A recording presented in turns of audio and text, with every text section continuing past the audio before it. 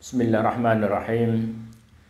الحمد لله رب العالمين والصلاة والسلام على أشرف الأنبياء والمرسلين نبينا محمد وعلى آله وصحبه أجمعين أما بعد السلام عليكم ورحمة الله تعالى وبركاته បងប្អូនអ៊ីស្លាមទាំងអស់ជាទីស្រឡាញ់នៅក្នុងមេរៀនហ្វីកោះរបស់យើងថ្ងៃនេះចាត់ទុកជាមេរៀនចុងក្រោយសម្រាប់បេកាហាយីដែលយើងបានរំលឹកគ្នាជាច្រើនមេរៀនមកហើយ ហើយការងារចុងក្រោយរបស់អ្នកធ្វើហាយីទៅតាមអ្វីដែលនប៊ីយើងបានប្រើមនុស្សឲ្យប្រតិបត្តិនោះនោះគឺការតវ៉ាហ្វវីដាយើងហៅថាតវ៉ាហ្វចុងក្រោយឬក៏តវ៉ាហ្វលាមុននឹងយើងចាក់ចេញឬក៏មុននឹងអ្នកធ្វើហាយីចាក់ចេញពីទឹកដីម៉ាកាសដើម្បីវិលត្រឡប់មកភូមិកំណើតរបស់ខ្លួនវិញយកតាមហាឌីសដែលនាំមកដោយអ៊ីប៊ុនអាបាសរ៉ាឌីយ៉ាឡោះអានហ៊ូម៉ាគាត់បាននិយាយថា أمر أمر الناس أمر الناس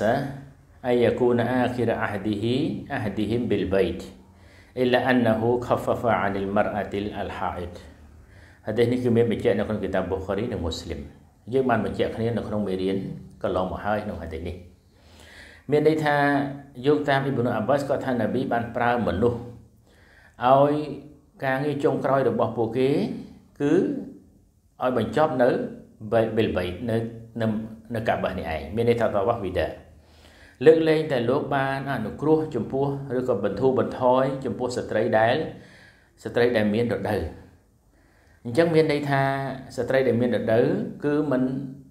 មិនត្រូវបានច្បាប់អនុញ្ញាតឲ្យគាត់តវ៉ាវីដាទេមានន័យថាគាត់មិនចាំបាច់តវ៉ាទេក៏ហាជីបើគាត់សះដែរ ដែលឡែកសម្រាប់អ្នកដែលមានរដូវដូចជាបរិះភេទក្តីឬក៏ស្ត្រីដែលអត់មានរដូវនេះគឺគាត់ចាំបាច់ត្រូវតែតបោះវិដៈតបោះលាមុននឹងចាក់ចេញពីពីទឹកដីទឹកដីមកកាសដើម្បីវិលត្រឡប់មកភូមិកំណើតរបស់ខ្លួនវិញមានន័យថាបញ្ចប់ការការធ្វើហាជីការតបោះវិដៈនេះគឺលន់សុំរំលឹកផងដែរថាវាមានបងប្អូនអ៊ីស្លាមរបស់យើងមួយចំនួនគាត់ធ្វើខុសគាត់ធ្វើខុសឆ្គងពីអ្វីដែលជាលក្ខណៈច្បាប់ ចង់និយាយថាគាត់ឲ្យនិយមន័យថាពាក្យថាតវ៉ាលា គឺគាត់តវ៉ាហើយពេលដែលបញ្ចប់តវ៉ា7ជុំហើយនោះគាត់បែរមុខសម្ដៅកាបាហើយគាត់ដើរថយក្រោយ មានអ្នកដែលធ្វើហាជីប្រភេទនេះមានន័យថា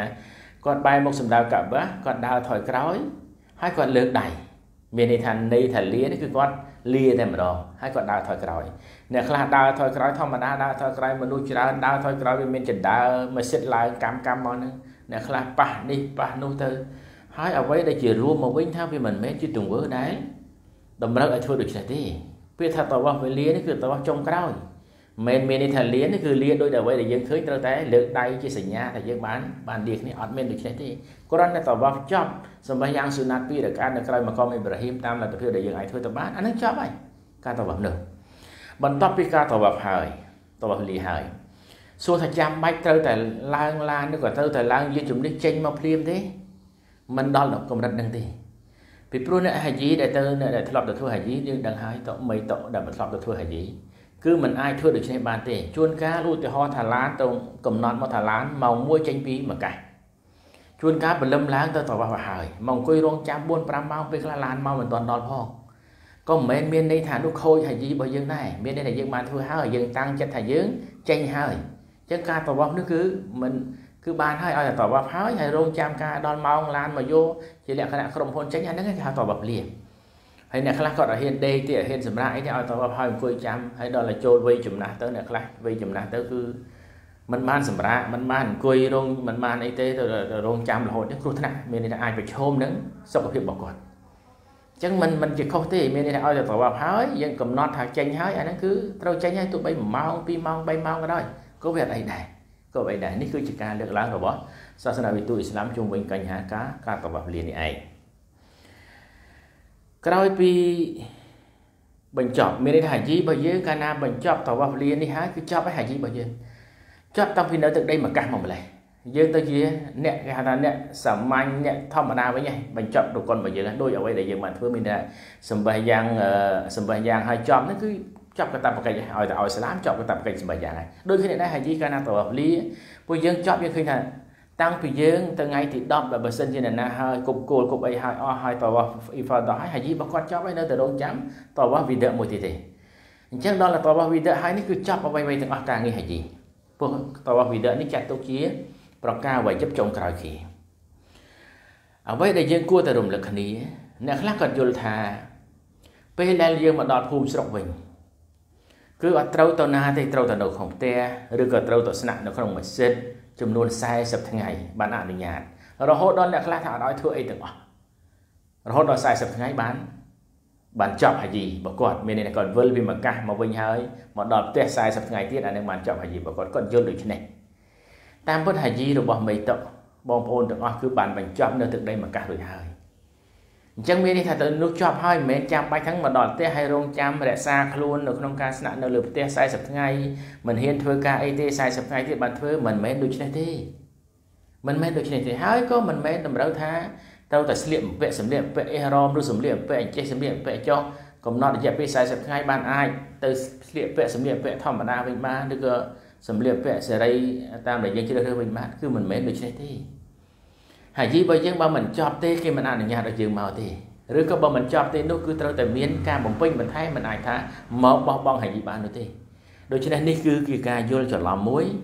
ដែលវាបង្កប់នៅក្នុងជំនឿតតគ្នាមកហើយវាមិនមែនជាជំនឿពិតប្រាកដមានន័យមិនមែនជាលក្ខណៈរកុនធ្វើហាជីឬក៏កតបិហាជីណាមួយទេតែវាគ្រាន់តែជាអាដិតទម្លាប់មួយបើតាមការយល់ឃើញរបស់លិនយល់ឃើញថាប្រហែលជាដោយសារចង់លើកដំកើងអ្នកដែលបានទៅធ្វើហាជី អញ្ចឹងដោយចាស់ចាស់គាត់បាននិយាយថាកាលពីមុនកម្រណាបានទៅធ្វើហាជីម្ដងម្ដងព្រោះវាឆ្ងាយមធ្យោបាយហើយលុយកាក់ក៏វាថ្លៃហើយមិនមែនមធ្យោបាយស្រួលដូចពេលបច្ចុប្បន្ននេះណាលំបាកដល់អញ្ចឹងអ្នកដែលទៅមួយមួយមានន័យថាល្បីល្បាញខ្លាំងណាស់អញ្ចឹងការលើកដំកើងជាទម្លាប់របស់អឺអ្នកដែលដែលស្រឡាញ់អ៊ីបាដាតហ្នឹងឲ្យតែឃើញអ្នកណាឲ្យធ្វើអ៊ីបាដាតហើយជាពិសេសអ៊ីបាដាតហាជីនេះគឺលើកដំកើងដល់លើកដំកើងហួសពេកវាទៅជាខុសដល់កំណត់ហ្នឹងត្រូវតែ40ថ្ងៃសិន បានបានអនុញ្ញាតឲ្យធ្វើនេះធ្វើនោះនឹងសុំនិយាយដោយហួសការងារតិចដោយសារមានសំណួរហើយមិនមិនជារឿងអភិអីទេអ្នកខ្លះរហូតដល់មិនឲ្យរួមសង្វាស់ជាមួយគ្រួសាររបស់គាត់ដូចពី40ថ្ងៃបានផុតពីនឹងមកគាត់ថាបាននឹងបានជាសេរីភាពរបស់គាត់តែអត់ទេដោយតែយើងបានរំលឹកគ្នាកាលពីមេរៀនដឹកមុនមកហើយថាតហលុលទី1នៅពេលណាតហលុលទី1ហើយគេហាមអីក្រោយពីតហលុលទី2គឺសេរីភាពទាំងអស់មានអ្នកគ្រួសាររបស់ខ្លួនអញ្ចឹងកាលណាយើង នាំគ្នាកំណត់ច្បាប់ដែលវាមិនមែនជាច្បាប់ វាធ្វើឲ្យមនុស្សជួបនឹងបញ្ហាជីវិតគ្រួសារជារឿងមួយសំខាន់មិនមែនជាការតម្រូវមនុស្សទេប៉ុន្តែវាតម្រូវរបស់មនុស្សមួយចំនួនគឺចាំបាច់គ្រួសាររបស់គាត់អញ្ចឹងបើរយៈពេលដែលគាត់ទៅធ្វើហាជីប្រហែលខែទៅហើយមកវិញកំណត់ថាមិនអោយនៅជាមួយនេះប្រហែលខែទៀតតែវាមិនមែនជាលក្ខណៈច្បាប់វាទៅជាមន្តរដ្ឋទៅជាបកកបញ្ហាឲ្យទៅជារូបភាពមួយកើតឡើងថាសាសនាអ៊ីស្លាមគឺជាសាសនាមួយដែលនាំឲ្យបែកបាក់ គ្រួសារឬក៏នាំឲ្យគម្លាតអញ្ចឹងការយល់ការកំណត់ច្បាប់ដែលមិនមែនជាលក្ខណៈច្បាប់នេះហើយដែលធ្វើឲ្យប៉ះពាល់ប៉ះពាល់ព្រោះមានសំណួរជាច្រើនដែលលើកឡើងនៅបញ្ហាទាំងអស់នេះបានជាលិនសូមលើកចូលរួមការងារទាំងអស់ចូលរួមរំលឹកខ្លួនឯងក៏ដូចជាពុំមួយស្លាប់ទាំងអស់ថាវាមិនមែនជាការងារដែលត្រូវកំណត់ដូចនេះទេមិនមែនមិនមែនជាការងារដែលត្រូវកំណត់ដូចនេះទេចំណុចមួយទៀតគឺការលើកឡើងថាពេលដែលយើងទៅធ្វើហាជីសួរថាយើងអាច ធ្វើចំនួនក្នុងពេលដែលធ្វើហាជីបានទេយើងមើលអ្វីដែលអល់ឡោះជាម្ចាស់បានបញ្ជាក់ប្រាប់អល់ឡោះថា Bismillahirrahmanirrahim Laisa alaikum junahun an tabtaghu fadlan min rabbikum មានន័យថាមិនមែនជាបញ្ហាឬវាគ្មានផលប៉ះពាល់ដល់អ្នកទេ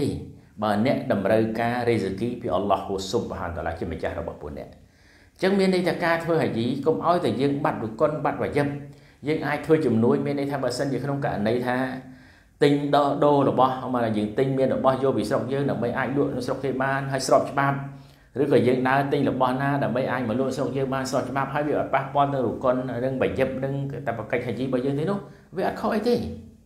វាអត់ខុសទេព្រោះអល់ឡោះបានបញ្ជាក់នៅក្នុងគម្ពីរអល់កុរ៉ានយ៉ាងច្បាស់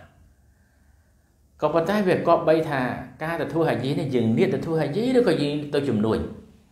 នេះជាបញ្ហាកាលណាចូលជំនួយមកដល់ជំនួយណា កាលណាចូលមកដល់មានន័យថាចង់បានពីជំនួយគឺចង់បានចំណេញអានឹងអារម្មណ៍របស់យើងវាអត់មូលក្នុងការធ្វើអ៊ីបាដាតទេនិយាយជារួមគឺវាអត់មូលក្នុងការធ្វើអ៊ីបាដាតទេនេះហើយជាបញ្ហា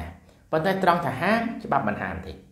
អញ្ចឹងមានតែការថ្លឹងថ្លែងថាតវៈមីបងប្អូនទាំងអស់ដែលធ្វើហាជីមកជីវិតបានម្ដងនេះតើក៏បីបំផ្លាញអ៊ីបាដាតឬក៏ធ្វើឲ្យខាតបង់នៅអ៊ីបាដាតរបស់យើងទេអានេះជាជំរឿសរបស់យើងជំរឿសរបស់យើង អញ្ចឹងអ្វីអ្វីទាំងអស់ដែលបានលើកឡើងគឺមានបញ្ជាក់នៅក្នុងច្បាប់ហើយជាការណែនាំ